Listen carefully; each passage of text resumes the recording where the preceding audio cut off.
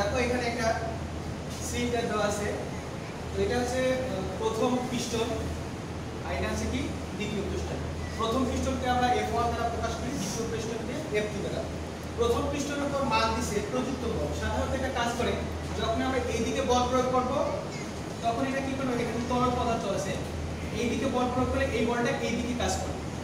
এইদিকে যত গুণ দেব, তখন এইদিকে তত গুণ প্রযুক্ত হবে তো উদ্দীপকে আমার এখানে দুটো সিলিন্ডার দেওয়া আছে এই সিলিন্ডারের উপর টু নিউটন বল প্রয়োগ করছে।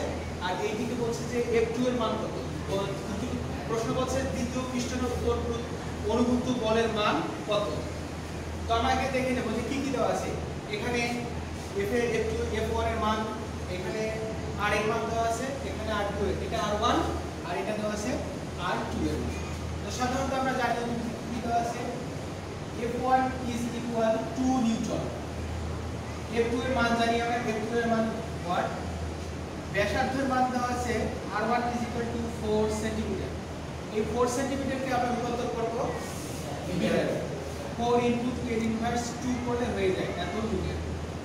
আর R2 is equal দেওয়া আছে আমার 400 সেন্টিমিটার। এটিকে আমরা মিটারে রূপান্তর করলে একবারে 4 মিটার যায়। আর আমরা F2 এর উপর প্রশ্নে আমাদের চেয়েছে যে দ্বিতীয় পৃষ্ঠের উপর অনুভূত বলের মান কত তো আমরা এখন সূত্র জানি, আমরা জানি।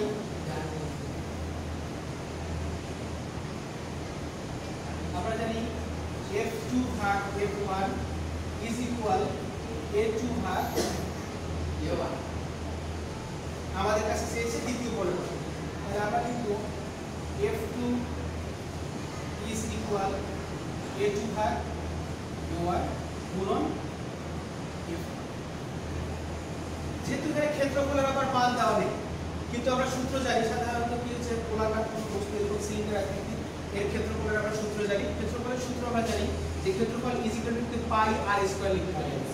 পাই এর মান আমরা জানি 3.1416 আর আর এর মান তো আমরা দেওয়া আছে, সেখান থেকে আমরা ক্ষেত্রফলটা নির্ণয় করতে তাহলে a2 ইজ ইকুয়াল টু লিখতে পারি পাই r1 r2 স্কয়ার গুণন হচ্ছে f1 f1 দেওয়া আছে 2 নিউটন 2 লিখে দিলাম। আর a is equal to a সূত্র আমরা জানি পাই r1 স্কয়ার তো সাধারণত উপরে এবং নিচে লগ এবং হর যদি পাই পাই দেওয়া আছে এখানে কি পাই?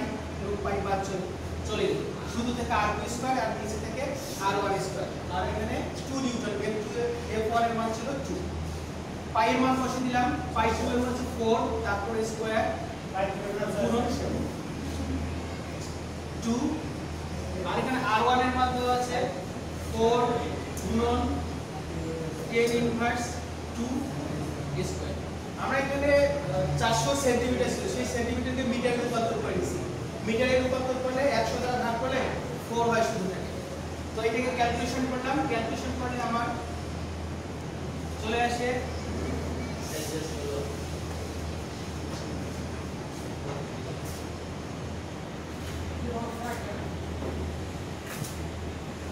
ক্যালকুলেটর চাপ এটা আসে 2 ইনটু 10 টু পাওয়ার 4 নিউটন আসে